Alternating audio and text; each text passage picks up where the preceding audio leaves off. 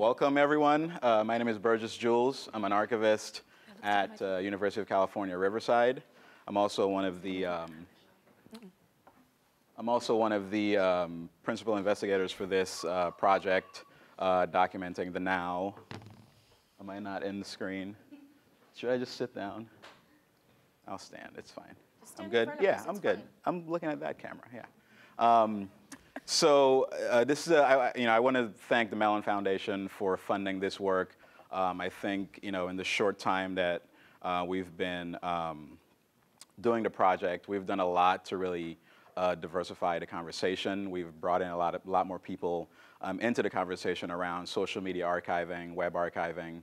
Uh, it feels like a really inclusive space. Uh, if you just look at this room here today, um, we're really excited about the folks who decided to join us. So um, really grateful to be here. Glad to share this meeting uh, with a lot more people. I know we have some watch parties going on out there, so thank you so much uh, for joining us. Um, please remember to use the DocNow community hashtag um, as you're tweeting at us and follow us on Twitter at DocumentNow.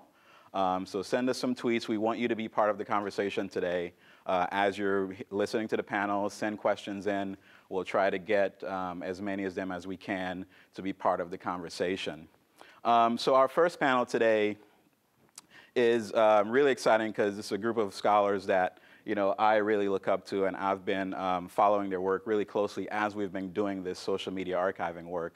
Um, Dr. Jessica Johnson, Dr. Sarah Jackson, and Dr. Mark Anthony Neal, um, and we're really excited to have them here because what's happening now is we have this sort of sort of explosion of information really um, happening uh, on social media. We see it a lot, obviously, um, as we've been following the activism over the last couple years around police killings of African Americans.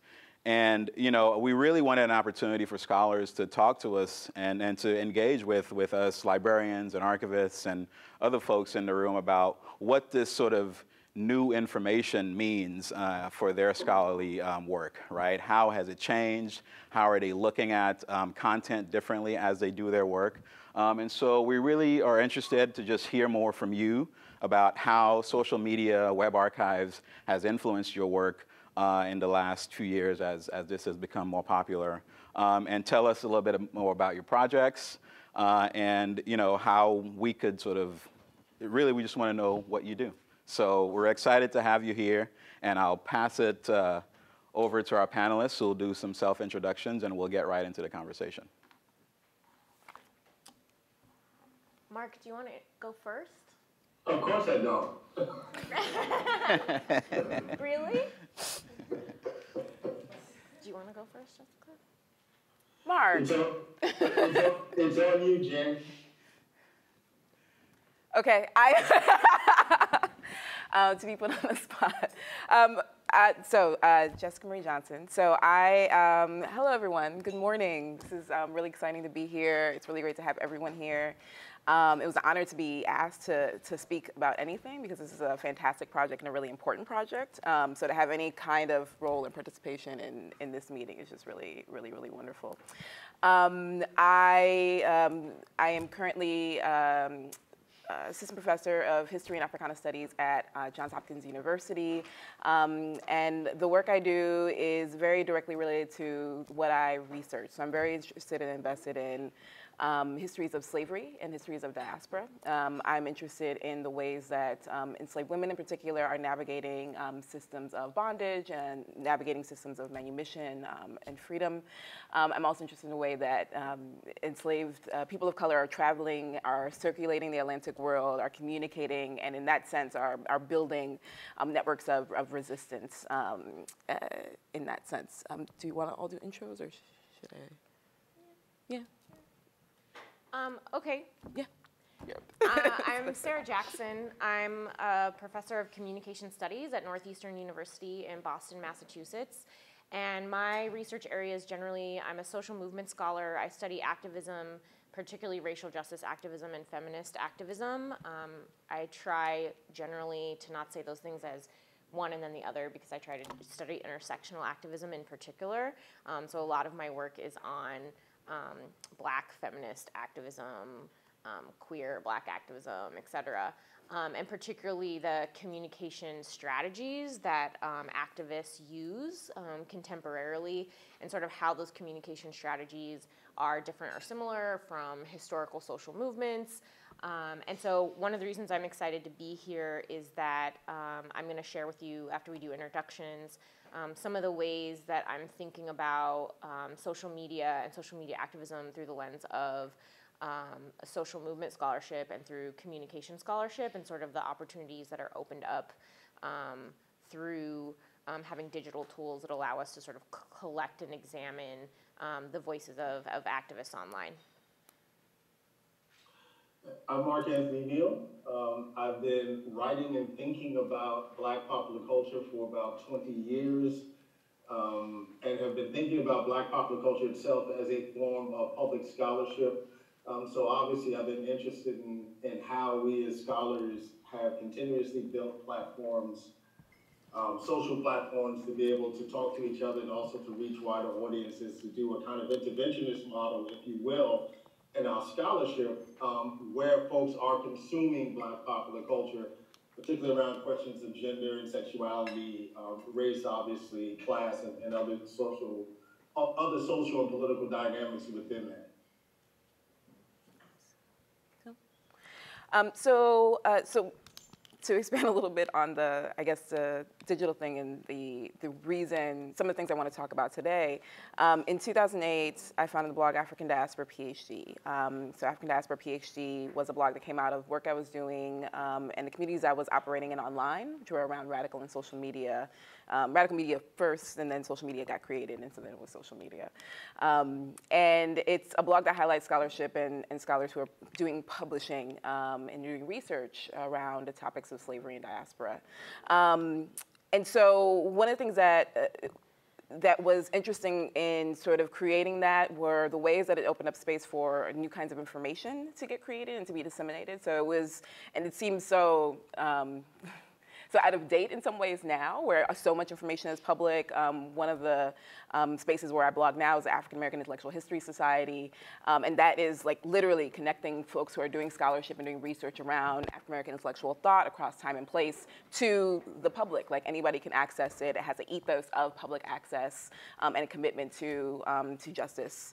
Uh, so so it seems like a, a sort of afterthought um, when I think back on it. But at the time, there were even more than now. Like there was a very strong sort of division between work that was getting created, research that was happening, uh, particularly around slavery um, in the academy and things that were being discussed um, on the ground. So a more clear example that is even more related to this um, and is one of is part of a, a, larger project that I'm interested in around slavery and digital humanities um, is a project called the Transatlantic Slave Trade Database.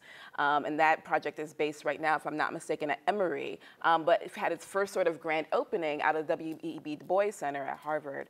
and, it, and when it opened, um, it had been the project of research done by you know scholars, um, you know mainly in the U.S., um, a few scholars in Brazil, um, scholars who were uh, who were in the academy who were working, in, and it wasn't a surprise when it opened.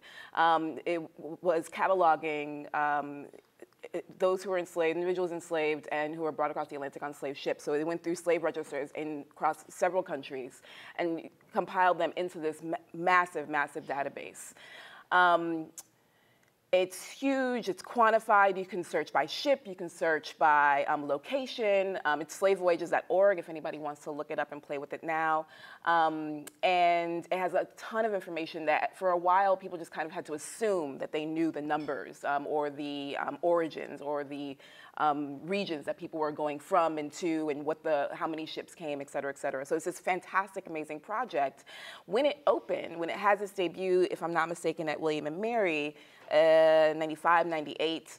Um, what scholars came to come and hear about the numbers and the data and you know what are the new patterns and the trends and the percentages and everything. But what you also what also happened was that you had um, churches who brought um, people um, their parishioners. You had um, local groups. You had local historians. You had community groups. Most of these were African American or people of African descent, and most of those were people who claimed some descent, um, some slave-holding descent here in the United States. And so they came also to this event, and this was an unexpected thing. Um, uh, Ira Berlin writes about this in an article about slavery and, and memory and history. Um, and it was an unexpected thing, um, both the numbers of those who came, but the imperative that was behind it. And their imperative was also about, you know, who came, when, where, what are the rates, what are the percentages, what are the numbers, how do we crunch the data, how do we quantify it? But they also want to know who people were.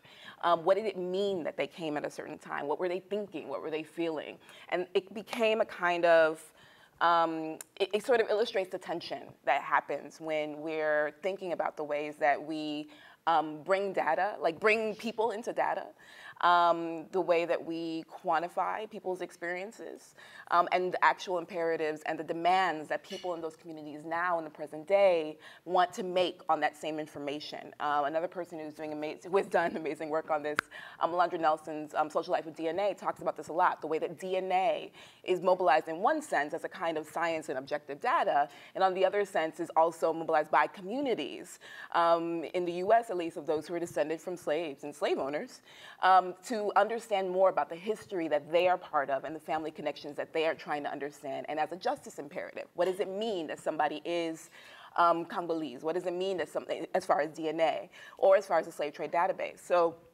and how can that be used to enact the kind of um, rebalancing of an injustice that happened at a particular moment, right?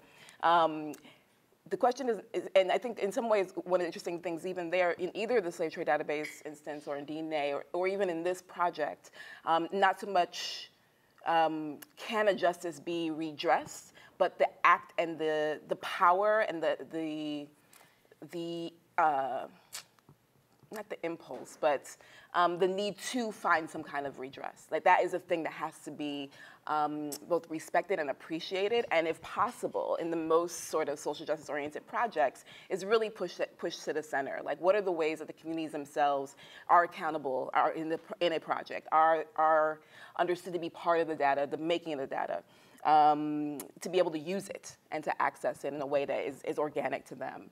Um, so, uh, so the things that I'm thinking about when we're talking about social media in particular um, end up being really similar. So if we think of the ways that um, that people, Black Twitter, for instance, is getting crunched into nodes of data. So a tweet, 140 characters, we can archive it, we can grab it, we can, um, we can find patterns in it. You know, in a lot of ways, this is what um, a tool like this can do. Um, and it's what media does. It's what um, corporate interests do. Tumblr got purchased by Yahoo, not because you know everybody's on Tumblr and they're talking about interesting things. It's because Yahoo believed that there's a way that you can make some kind of money out of it. Facebook is always buying something. I think Instagram was the latest thing. Now they want to be like Snapchat. Um, Twitter uh, has started adding ads. Um, started adding ads I think a couple years ago, and is also trying to you know balance you know how is it seen on um, as a corporate venture versus um, the ways that people actually use it. So there's that tension. Um, so people are already being seen as nodes of data in 140 characters. In this instance, we have this really interesting opportunity, and I'm looking at it as a historian at least, to think about how nodes of data are actually speaking back. So, so, so how are people, how are tweets themselves sort of um, also having conversations with each other? How are people behind the tweets having conversations both on Twitter and off? Um, how are they speaking to the idea of being data? I mean, this is an interesting moment in which people who are writers, who are media makers, people in this room are actually talking about what does it mean that our words, our conversations, and our ideas are now sources, and and how do we how do we what do we want to do with that? You know, whatever that may mean. So we're also speaking back to the idea of being data um, in interesting ways that um, that can be captured. Um, and we're also being spoken to. So it's not as though, let's say we wanted to ignore that, oh, you know, we're being crunched to 240 characters, that's a justice thing, that's a commodification thing, whatever, you know, and all, the whole spectrum between we're being assimilated and we're, we're resisting. Um, whatever way we want to think about it, other people are already thinking about it. So people are already trying to think about ways that, you know, um, Gabby Douglas's hair can be clickbait, you know? So there's a point, there's a part where we're having a conversation about the Olympics, and there's a part where certain headlines are being thrown up in order to get people to click. Um, there's a whole conversation right now about harm online and about the ways that those instances are also actions that do harm, for instance, um, to Gabby Douglas. this is another example. Um, so this is also just a moment where whether or not whether or not we want to have a conversation about the kind of justice or imperative behind thinking about of ourselves um, and this work as data, um, other people are. And so it's really important, in my opinion, and we can talk about this, that we get ahead of this um, or, or get into the, the kind of battle that's already happening um, and really start to, to mix it up and try and do what we can, particularly in this, again, this project is, is such a great example, um, to recenter the debate, think about redress, think about um, justice and balance, um, and add some of the humanity back into the digital part of, of what it is that we're doing. So. Um, thanks. Yeah, this is great. I love that we have a historian, a communication and social movements person, and a pop culture person because we don't often across our fields in academia get to hear how other people are thinking about these spaces and this data. So it's actually really fun to hear that. Um, so I'm just going to sort of start off and then backtrack here. I'm in the midst of writing a book with two of my awesome colleagues, Moya Bailey and Brooke Foucault-Welles, who is here, um, about hashtag activism. And the story of how I got to the point of writing a book about hashtag activism, I think speaks a lot to some of the questions that we're going to be here talking about today. Um, I was originally trained as a journalist, thought I was going to go into journalism, and then realized that journalism does a really bad job covering the political issues that I cared about, particularly activism, particularly social movements, particularly things having to do with racial justice, particularly ha things having to do with gender and sex justice.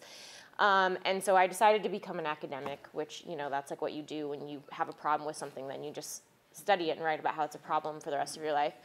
Um, and um, I ended up writing a dissertation about the black press, and I specifically chose um, to study the black press in graduate school um, because of this uh, theory in my field in communication studies um, called counter public sphere theory. And, and so that's kind of heady, but the idea of counter publics is that you know, there's sort of this big idea in politics and political communication that we all exist in a public sphere. And um, sort of Habermas is the famous scholar who, who coined the idea of the public sphere. And, and the idealized idea of the public sphere is that people come together in a democracy and they, they debate and think and talk about the things that matter to the citizens in the democracy and that at some point even if there's disagreement people come to you know some kind of agreements compromises and make the decisions that are best for democratic societies and that's lovely and great um, except that uh, feminist scholars in particular feminist scholars and black scholars came along and said hey like that idea of the public sphere is nice, and it's nice that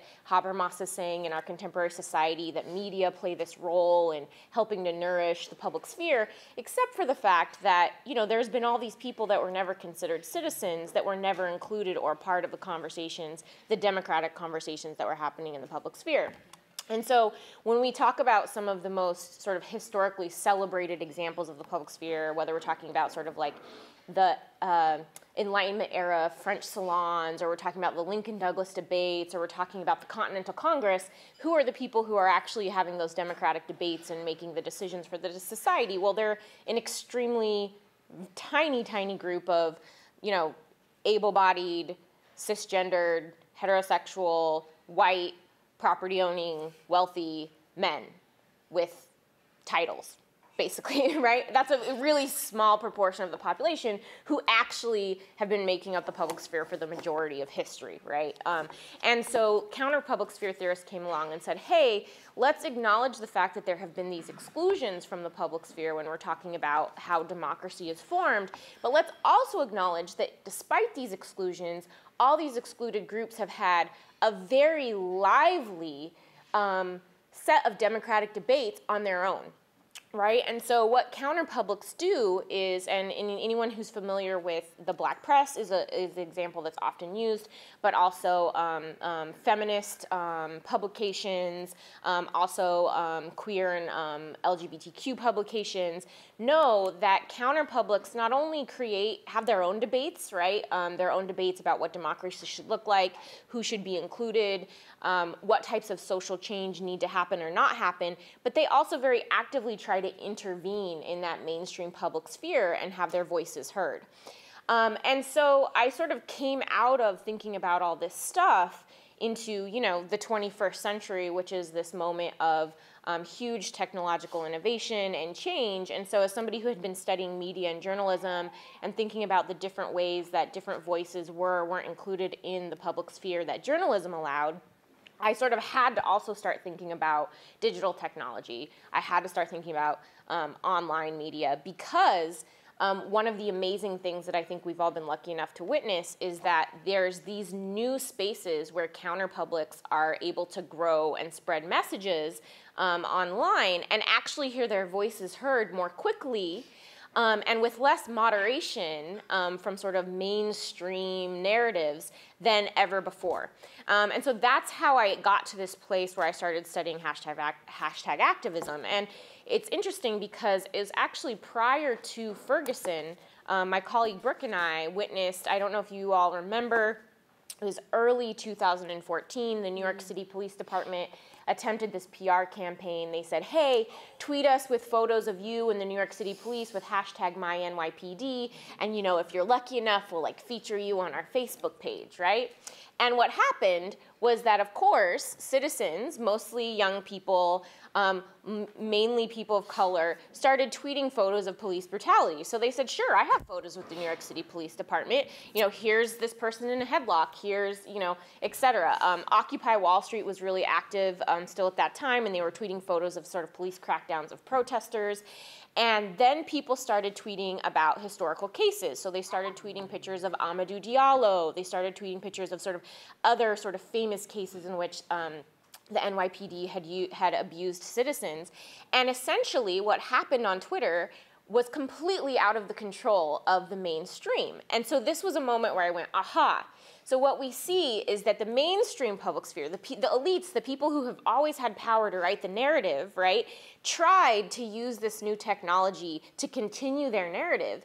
And regular people, right, some people were activists, some people were members of activist organizations, but a lot of the people that we found in our study were just everyday regular people. You wouldn't know them from Adam. They only had, you know, a couple dozen followers on Twitter, started tweeting these images, right?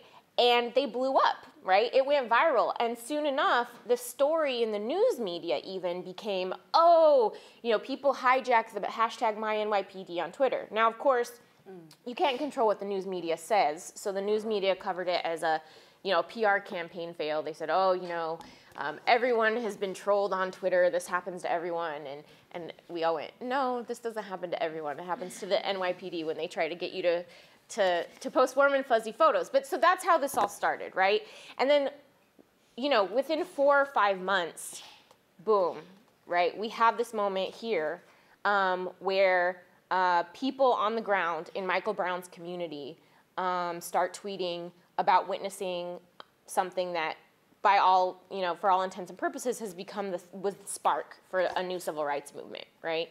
Um, we had Trayvon before that, right? We had Oscar Grant before that. But this moment um, of particularly the images of Michael Brown laying on the ground for four and a half hours that his neighbors took photos of and, and tweeted, although they were asked later to take those photos down by his family and did so, um, really caused this spark. And so um, we studied that. And what we found was that in the first days, um, um, within 20 minutes of Michael Brown being shot, the first people who were tweeting about um, what was happening in Ferguson, they weren't elites, they weren't activists, they weren't celebrities, um, they weren't journalists. They were members of Michael Brown's community, right? Um, and one of the most influential tweets we found was just from a woman who was a neighbor of Michael Brown.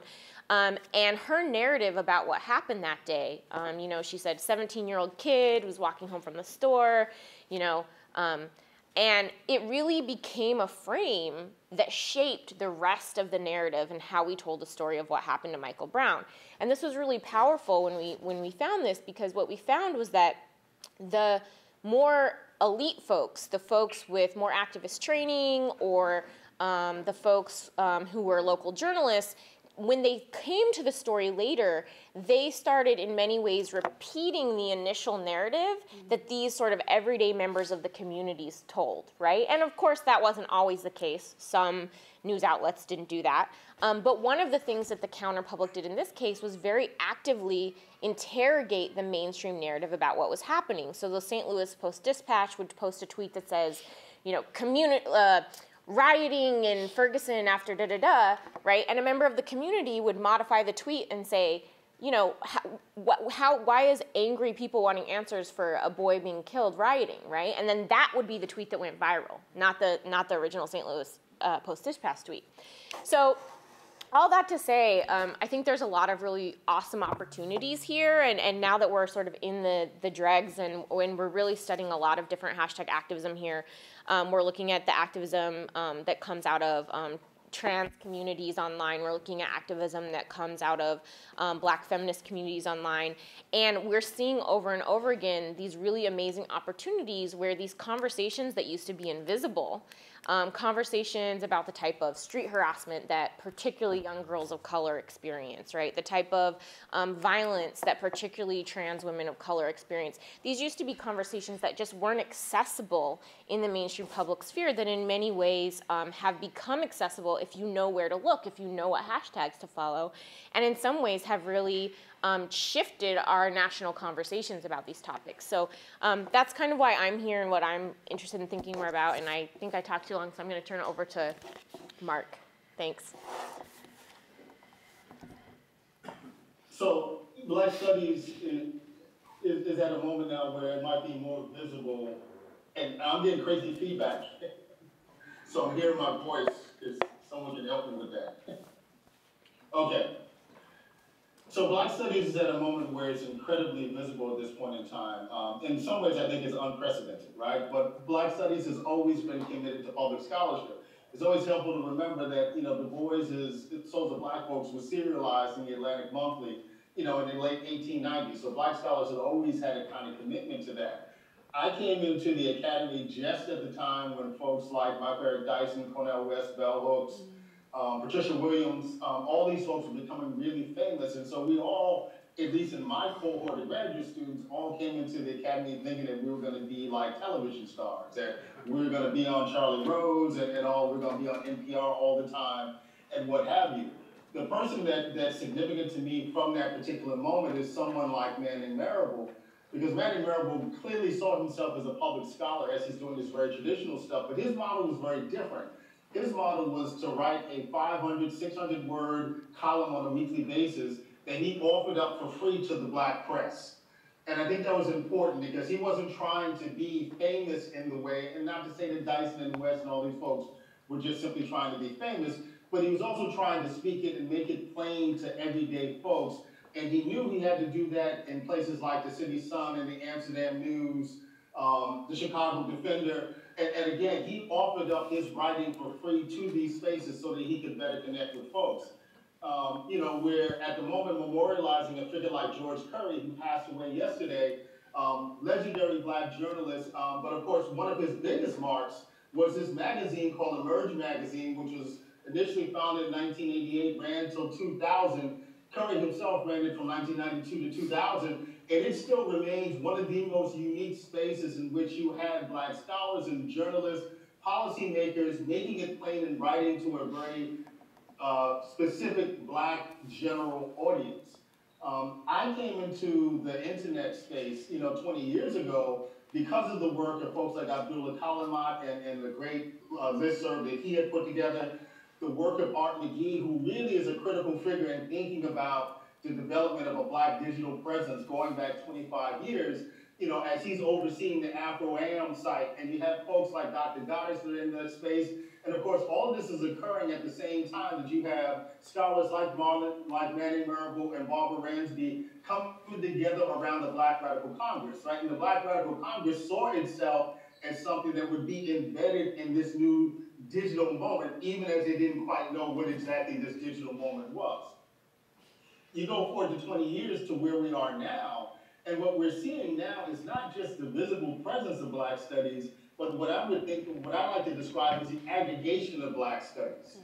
So it's not just that we're all writing work and trying to make it available and accessible in these spaces, but there's also a commitment to what you know someone like Henry Jenkins would call spreadability right? And, and, and Jenkins is always clear about the distinction between sharing stuff and spreadable, right? When he talks about that, when you talk about sharing, you think about viruses, right? But when you think about spreadability, think about it in the context of peanut butter, right? Something that's solid and stable and, and has some sort of substance to it.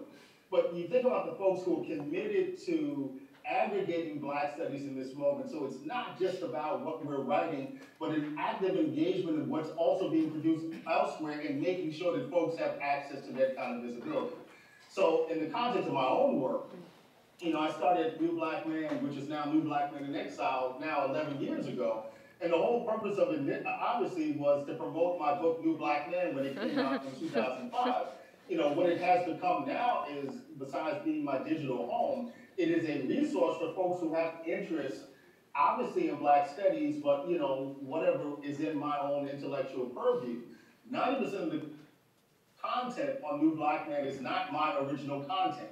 Um, it's either uh, a, a, way for younger junior scholars to be able to do an interventionist model of scholarship immediately, you know, in the context of whether or not it's book reviews and movie reviews and what have you. It's also a space where we're able to embed critical information coming from other sources and other sources of content.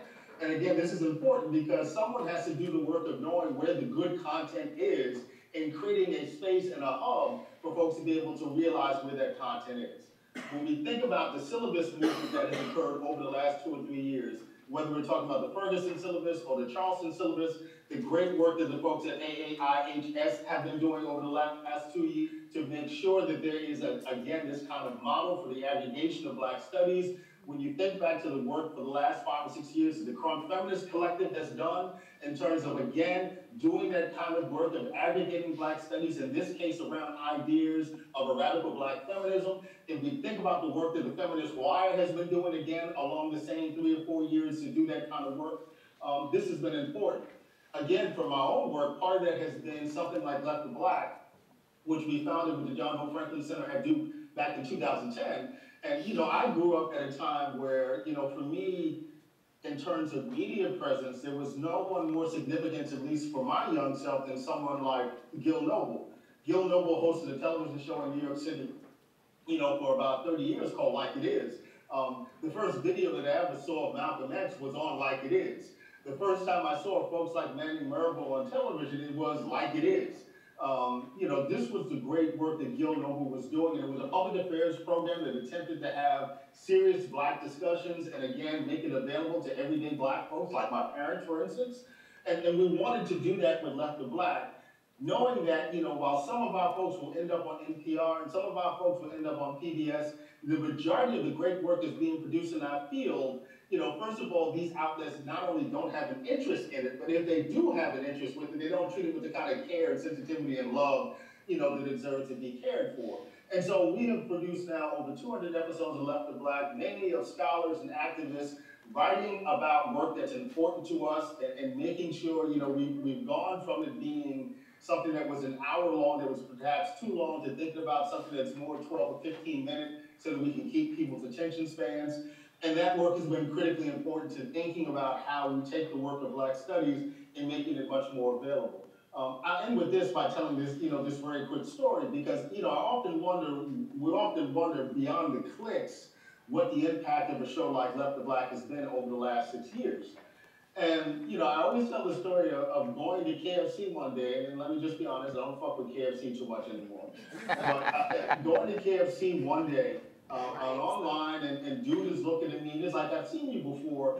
And then he goes on to talk about how he watched the video that I did with, with Cornel West at some church in Raleigh, you know, a year and a half earlier.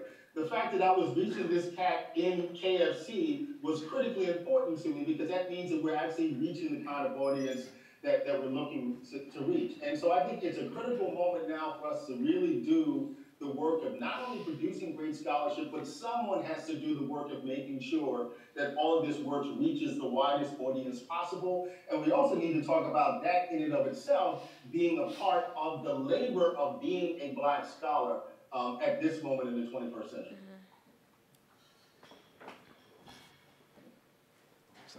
Is this good? Yeah. yeah. So now I can't hear anything. We're here. All right, great. So now we have uh, about 20 minutes for questions, discussion, comments.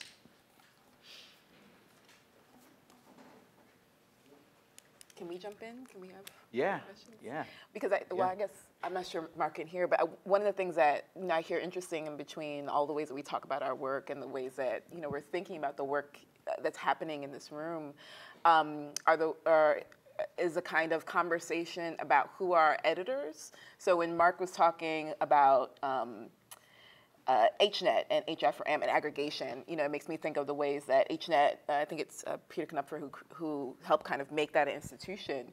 Um, the major linchpin of HNET is the editors, the idea that there need to be people who help to kind of manage and, you know, shift the information streams in different directions that can curate. Um, and then on the other side of that, you have folks, you know, like um, like was talking about, uh, who are creators, who are actually creating the tweets, and they're not necessarily the people who you would imagine are going to be, you know, the editors, but they are people who are really, really important. And so, what are the, you know, how do we talk about this? Is there a tension there? Is there like, you know, um, a, a, great relationship there? Like, what are the ways that like editors and creators yeah. um, are working together or can be working together to create something that is I'm actually yeah, really glad. space. I'm really glad that you brought that up because I think you know we have to be really careful. All of us are on the on the panel are, are academics, and I think we also probably consider ourselves activists. Um, but as academics, we're in fairly privileged positions, and we're we are using data and, and, and the cultural production of people sometimes online who don't have the same time, types of, of, of privilege and access that we have. So, for example, I just tweeted out links to the two articles that I talked about when I was speaking, and now I'm having to tweet, hey, if you don't have access to these academic journal articles, like please email me and I'll send you a free copy, right? Because there's a paywall for, for academic journals, right? And so not everyone has access to the information. But not only that, when we use and study people's tweets or how, uh, how they're using data, this is something that we ran into in our studies. We really had to think about the fact that there are people who are extremely vulnerable, right? Um, members of Mike Brown's community who are fearful of police retribution are vulnerable if we put out their Twitter handles and their names as people who are tweeting this or that, right? Um, people who already experience violence because of their intersectional identities, like trans women of color, are very vulnerable, right? If we sort of broadcast more um, where and how to find them, right? Um, and I'm, I don't just mean vulnerable online, I mean real world, really vulnerable, right? Um, and so that is something that I think we have to be really careful about. Um, I, I mean, it's something I personally think about a lot as an academic, but also as a black woman, also as somebody who considers myself an activist, but has so much more um, access to spaces than, than many other people is how do I respect the cultural production of these folks? One, not put them at risk, but also two, not um, fall into the condescending thing that, of course, I have also experienced at times in my life where I think I'm speaking for them instead of letting them speak for themselves, right? And like one of the things that the data can do is allow um, people to speak for themselves, right? Like we can try to bring it together, we can try to tell a story about it, but at the end of the day, like that wasn't our cultural production in, in the case of the things I'm studying. And so that is, those are some of the kind of the ethical things that come up. And I know there's a couple panels later today about like the ethics of using social media data. But one of the ways that we've addressed this in the in the hashtag hashtag activism book that we're working on is that we've actually asked the cultural producers to offer blurbs for each of our chapters. So for example, we have a chapter about the hashtag Girls Like Us that Janet Mock started, and Janet Mock awesomely agreed to give us a little blurb for the chapter about like how, how why she started Girls Like Us and what where she thinks it's gone, etc.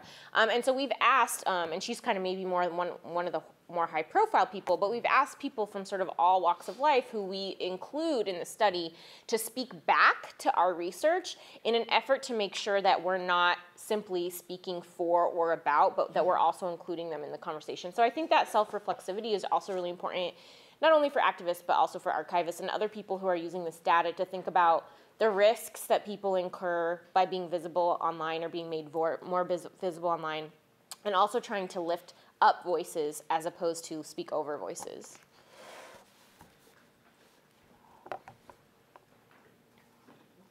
question. Uh, This is in response to uh, something, Sarah, that that you mentioned, but it's really for all of the the panelists. The takedown request or or request to uh, remove images of Michael Brown uh, uh, uh, laying in the street. I understand the the sensitivity of that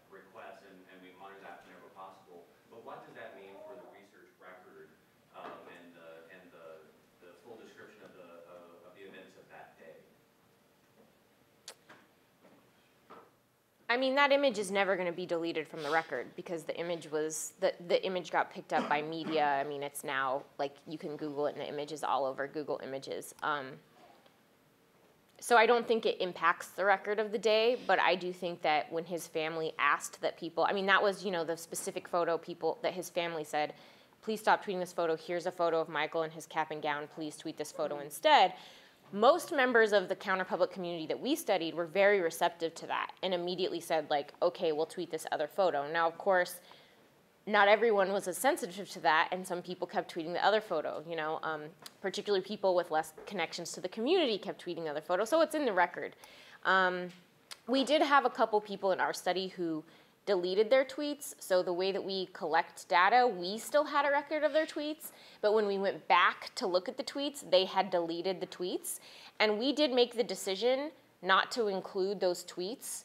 Um, because we made the decision that if somebody felt that they had to delete a tweet or there was a case where an account had was public then but had since been put on private and so we didn't you know we didn't want what we see is a sign from that person that they don't want the attention. There's some reason that they don't want to be pulled in or that they feel like something they put out was risky. Like, I think it's our job to try to respect that. Um, you know, the archive isn't more important than human people's lives, you know, so. Yeah. So I, I think this is a, a really important question. Um, and, you know, I think there's a, from what I've seen, there's sort of a higher level of care in the in the research community um, to sort of respect uh, requests like this, right? Like from the family saying, you know, we don't want this to be the image that people remember. Um, it, eh, it, I see the opposite in, in, the archives community, frankly, because we have this sort of uh, uh, uh sort of myth of neutrality that we go by, right? Um, well, not me, but a lot of a lot of people go by, where it's like we have to get everything because this is the sort of real record. Um, and it's just it's just not true. You know, um, we're you know we're voyeurs in a lot of ways. We like to sort of uh, look at Black Death, and we're interested in this spectacle because it sort of makes it sort of elevates our archive to have the thing that that people want want to come see. And you know, I think. Um, this project, uh, you know, I think one of the really important things that, that we've done with this project is we're pushing against uh, that narrative and that way of working um, to say that, you know what, we can tell that story in a different way, right? We don't have to sort of focus on the violence of, of black people being killed um, and sort of the images of, of sort of that death being out there. We can tell the story in different ways and we can respect people um, who are being sort of, uh, who are communicating, right, in, on these platforms and telling their stories and, and sharing these new narratives. So I think the archives community has a long way to go um, to get there, right? This sort of ethics of care is not something that the archives community um, embraces at all. Um, and, you know, I, I, think we're, we're pushing against that. Um, and, I, you know, I have to admit, even when I started looking at um, social media archiving, you know, I was, you know, one of those people I was like, well, there's so much stuff out there. Let's get it all. Let's get it all. And you know, I remember uh, conversations on Twitter with with three people, particularly uh, Stacie Williams, uh, Jarrett Drake and um, uh, Meredith Clark, who were pushing against that, right? Who was saying, well, did you get permission? Or did you let people know that you're getting this information?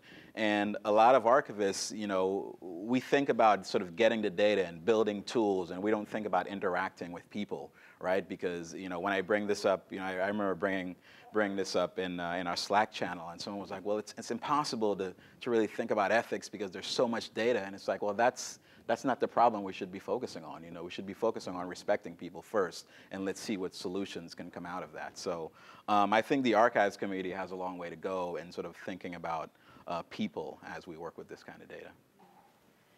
I mean, there's something interesting to me in, in, thinking about this as somebody who does slavery, who's thinking about does slavery, who's thinking about slavery all the time.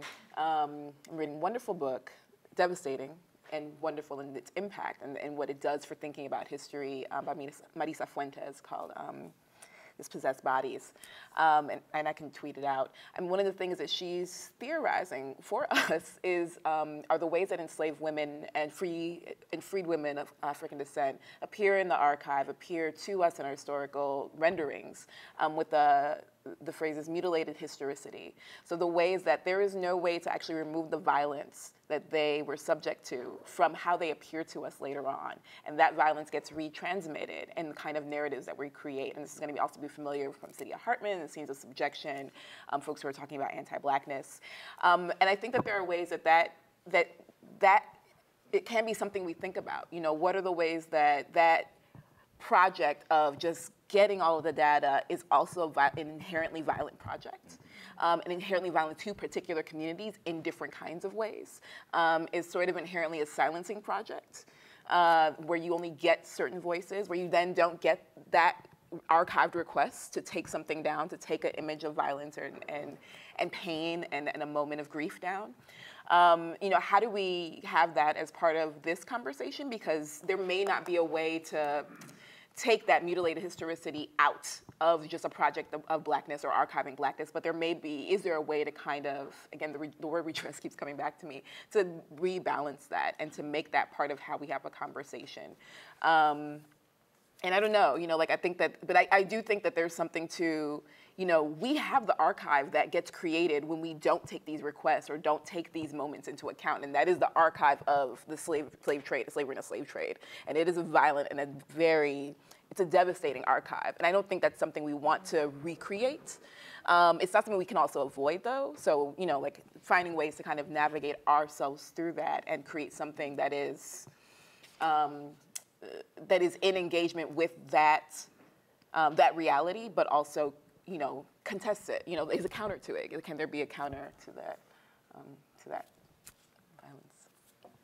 I think a lot of archives are kind of thinking of it in a naive way, where they're like, well, Twitter is a democratized place where everyone can have an account and. The fact that we're grabbing it all means that we're getting all of the voices, and not understanding that there's still no like participatory narrative building when you do that. So they think it's better than what they've done before, only getting the papers of white men.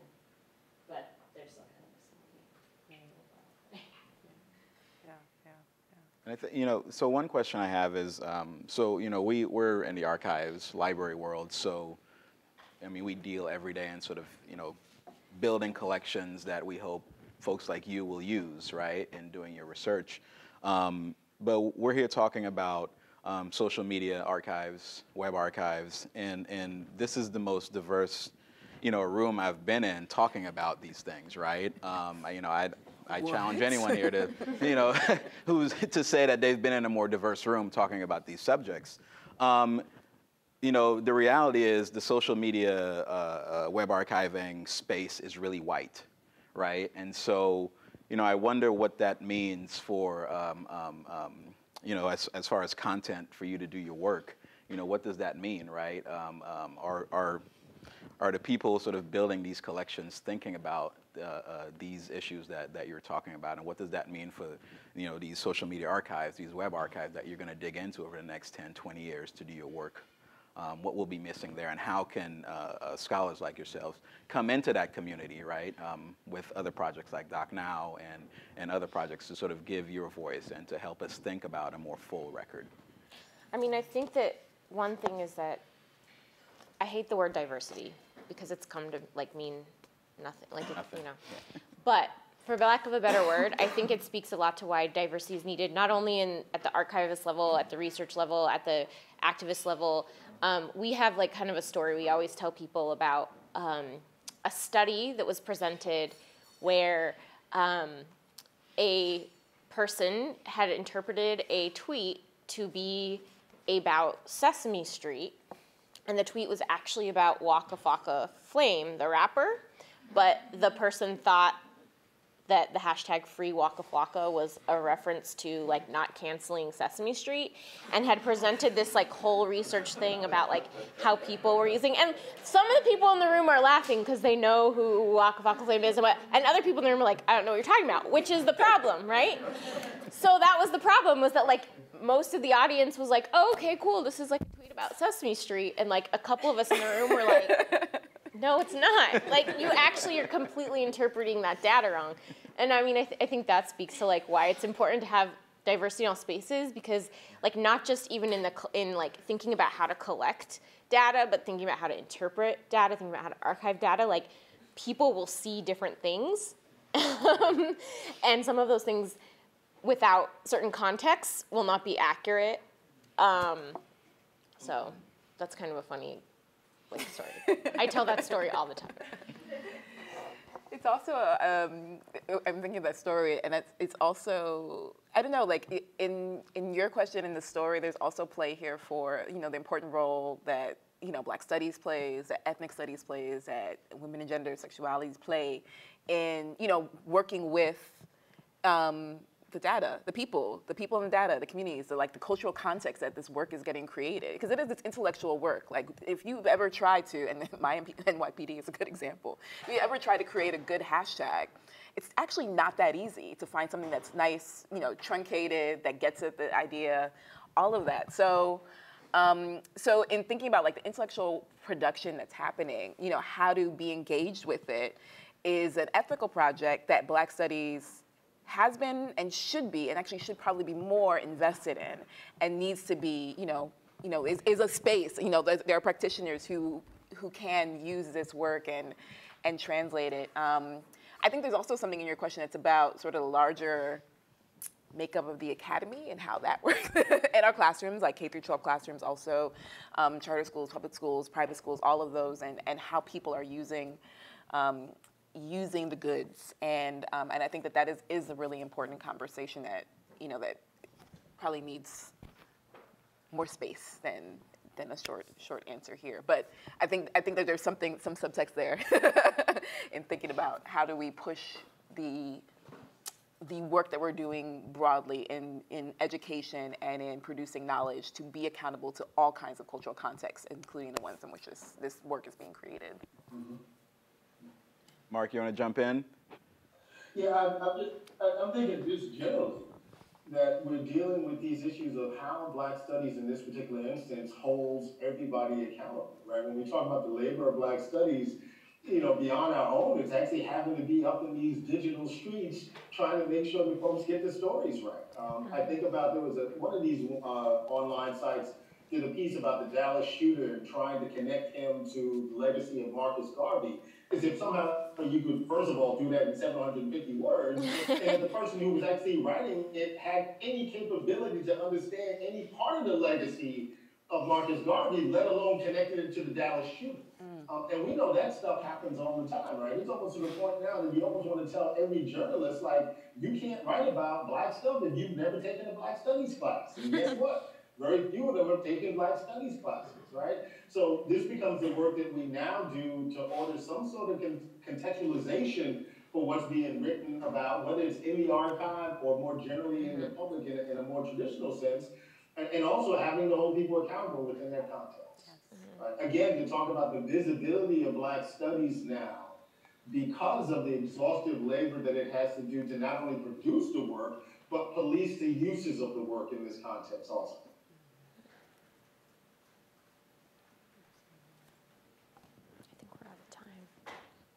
Anyone else want to jump in on this?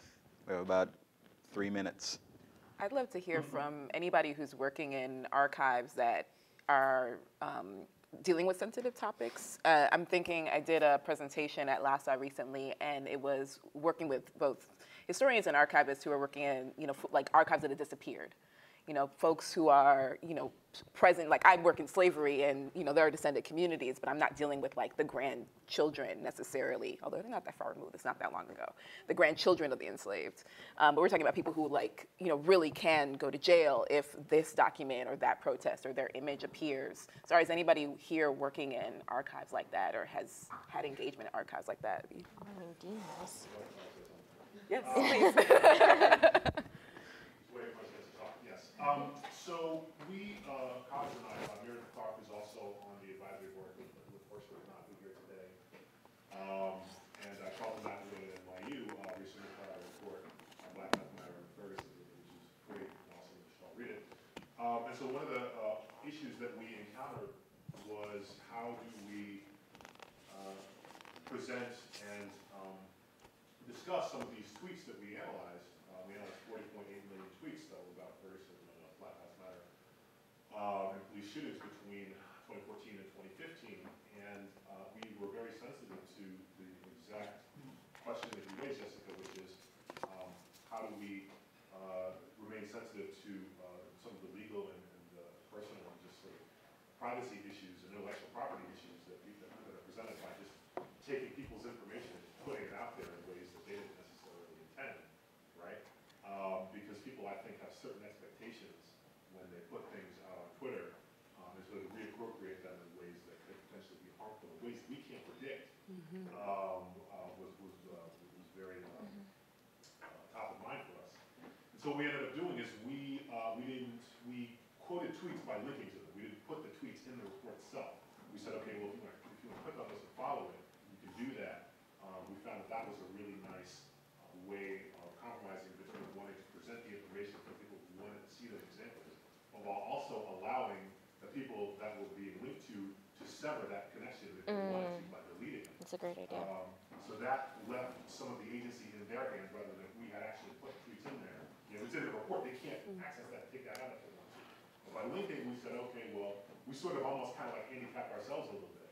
That goes back to our commitment, uh, that I think Sarah was talking about, uh, of of respecting the autonomy of the individuals who posted this stuff and not decontextualizing it to the point where they would lose, uh, the the autonomy, the ability to control access to that content, uh, consistent with the way that they, they want people to be able to access it.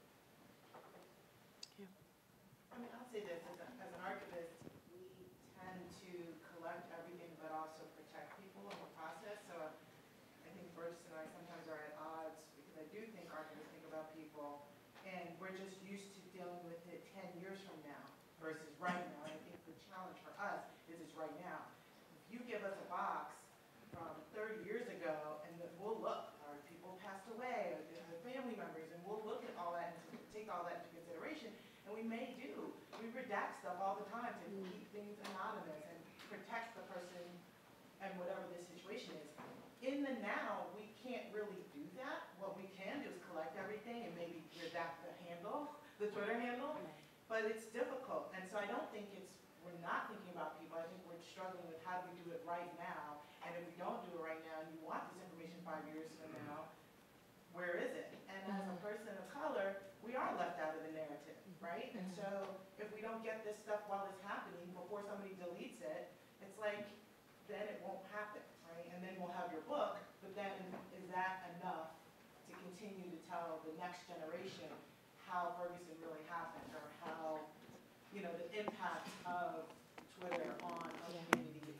How will that story be told other than through the five books, from links that no longer exist, from quotes that you can't follow, you can't trace? And scholarship is still pretty consistent with how we're supposed to do things and how we're supposed to write the historic narrative.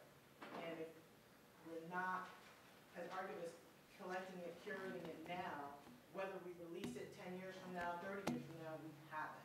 Well, and I saw your question, you tweeted me while I was talking, your question about when I said we didn't include tweets that had been deleted, even though we had them in our data, and you said, why not include them anonymously? And the mm. answer is because we had millions of tweets to choose from, so why choose the ones that had been deleted? The ones that were deleted weren't any qualitatively different than the ones that hadn't been deleted, so we could still include the ones that people had chosen to leave up, and it still tells the story, it still keeps the record, and it respects the fact that some people felt right? It wasn't as if by not including those tweets we left out a part of the story. There's still millions and millions and millions of tweets that tell that story. And so I think that's like where you have to make those sort of call like crucial calls is that you know, yes, of course it's important to tell the story of people who might otherwise be erased, but there's so much that's the nice thing about this platform is now there's so much data that you can respect the folks like I know some some black women activists on Twitter who have specifically tweeted and said, Act, uh, scholars, do not cite me, do not quote me. I don't want my cultural labor being used to like help you get tenure or whatever, right? And I'm like, fine. Like, I mean, there's lots of other people tweeting similar things, so it's not as if by not including those folks who've requested to be left out that we're not telling like the story of 21st century black feminist activism. You know what I mean? We're just respecting the fact that those particular people don't want their voices in the record and that's I mean I think that's okay. You know. No, and I agree, I think that's okay, and I think that's what archivists, that's what we do. What we, what we call that is appraisal in our field. And what I find, what mm. I find exciting about the digital realm is that individuals now have to curate their own stuff, right? You have to let people know, don't cite me, you have to let people know how you want your information public that's growing, particularly if it negatively affects you. That's what we've done for centuries. The challenge again is, it's Mm-hmm. online. So how do we, do we cat it all and then do that, and then sift through that and say, okay, these are the people that aren't, or this is of historical significance or not, or that's what we do, but how do we, we can't do it and not collect it first. Mm-hmm. There's also an emphasis there on the speed that I think we haven't appropriately emphasized. It. This is all happening right now. And it's not like it's happening and it's just faster. It's all happening sort of at once. You know, those three, many, like I just named three, but those many conversations that people are having with themselves, putting something out there. What does it mean that I put it out there? What does it mean that somebody else saw it? What are other people thinking? All those are happening at the same time in like milliseconds at this point. And so this work of sort of detangling, you know, the, the power of the archive, the violence of the archive, like what gets created, what gets left out, all of that. Like we're dealing with this because it's sped up so quickly, and now we're forced to confront it in ways that we I don't think we've ever had to do that before. Yeah, and Um, we write about the risks with that too, right? I mean, we, the flaw in the methodology is not understanding or knowing the context in which the tweets are created, right? So you are inferring, saying, okay, I know that this incident happened at ten oh one, and now all of a sudden I see these Twitter feeds, and you're doing it based on a timestamp or based on a location stamp, or assuming that you know who's really behind that handle. There's risks in, there's risk in that. But we know as scholars that that's context we'll put in our narrative. A journalist or, you know, a high school student or an elementary school student or a layperson who now is at the barbershop saying, you know, look, everybody's gonna die tomorrow because this tweet was on there. There's, you know, how do we, how do we explain that to the masses so that everybody's starting to be more educated about the use of I know Bergis is about to say we have to finish, but really quickly, I just want to shout out my colleague Moya Bailey actually has a great speaking to that. Um, it's a guide for teaching social media and it's like teaching eth- the ethics of social media to students in the classroom. Um, and I can tweet. A, I'll tweet a link to it Yeah, to the to the community because that's. Yeah, awesome. Thank you so much. I think Meredith and I are going to continue to have some disagreements.